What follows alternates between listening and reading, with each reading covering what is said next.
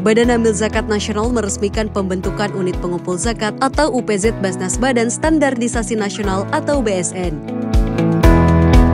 Peresmian tersebut ditandai dengan penyerahan SK UPZ Basnas BSN oleh pimpinan Basnas RI Rizaludin Kurniawan kepada Kepala BSN Kukuh S. Ahmad di Gedung Kemenko Maritim dan Investasi Jakarta.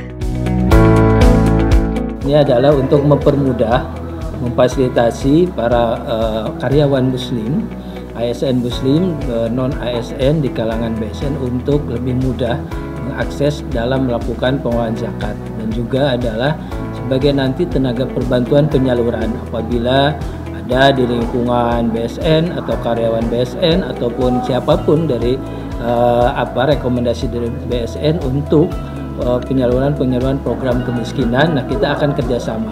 Nah, Basnas dan BSN sama-sama nanti akan melakukan penghimpunan dan penyaluran dana dalam penanggulangan kemiskinan. Inilah uh, pentingnya dari kerjasama adanya UPZ. Gitu. Yang pertama terima kasih kepada Basnas yang hari ini mengukuhkan UPZ Basnas di BSN di Badan Standarisasi Nasional. Jadi tentu Badan Standarisasi Nasional sebagai bagian dari atau sebuah lembaga pemerintah non kementerian, bagian dari pemerintah sesuai juga undang-undang PP maupun Impres terkait dengan uh, pembentukan UPZ ini uh, kami uh, berkomitmen untuk mendukung uh, program Basnas seperti yang diamanatkan melalui undang-undang.